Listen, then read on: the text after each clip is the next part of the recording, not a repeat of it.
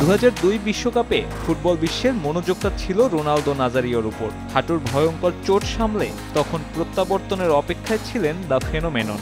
তবে মিডিয়ার বাড়তি মাতামাতি স্বাভাবিকভাবেই মনোযোগে বিঘ্ন ঘটাচ্ছিল এই নাম্বার নাইনের। তুর্কির বিপক্ষে সেমিফাইনাল। মিডিয়ার বাড়তি চাপ, সাথে প্রত্যাশার পাহাড়। মিডিয়ার বাড়তি চাপ, সাথে প্রত্যাশার পাহাড়।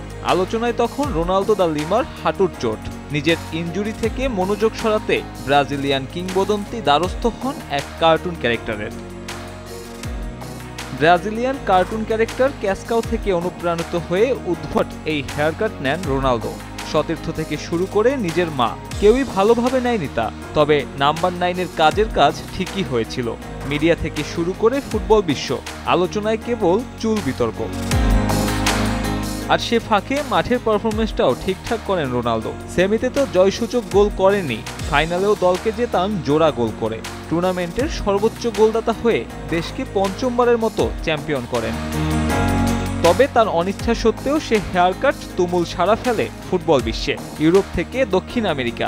উদ্ভট এই হেয়ার স্টাইলে মাতেন শিশু থেকে ভক্তরা। সে তালিকায় ছিলেন নেইমার জুনিয়রও। যদিও বা শিশু কিংবা ভক্তদের ওপর এমন প্রভাব চাননি রোনালদো। পরে অবশ্য প্রকাশ্যে ক্ষমাও চেয়েছেন সে চুল বিতর্কের জন্য। তবে উদ্ভট সে হেয়ার স্টাইলই দুইবারের ব্যালনজয়ী এ ফুটবলারের ট্রেডমার্ক হয়ে জায়গা করে নেয় ইতিহাসের পাতাতে। সাব্বির মিথুন, সময় সংবাদ।